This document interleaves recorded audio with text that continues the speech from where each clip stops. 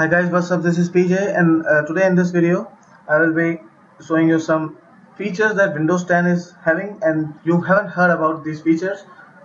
So let's move on to the features. The number one feature is to pin the specific sections to the start menu from the settings.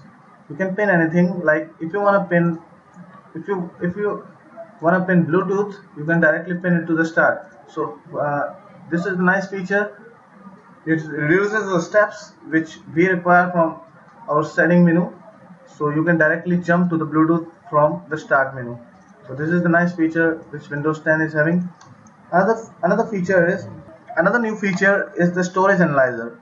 So just go to the settings go to the system and you will see storage here. So this is the new storage analyzer. You can check your drive space how much space application are taking from a drive like you can clear this temporary data you can clear your previous version of windows which is taking around 26 GB so it is very important uh, application which windows is having. This is the storage analyzer. Another new feature which uh, which windows 10 is having is you can uninstall any app from the start. You can you have to just click on any application you have installed just uninstall it right from here. So this is very useful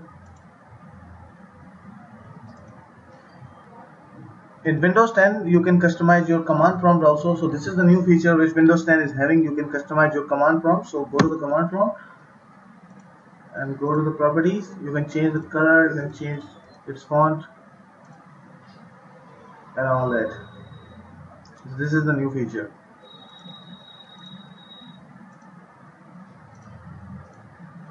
This is a lovely new feature of the Windows 10 another new feature is you can customize your notification area.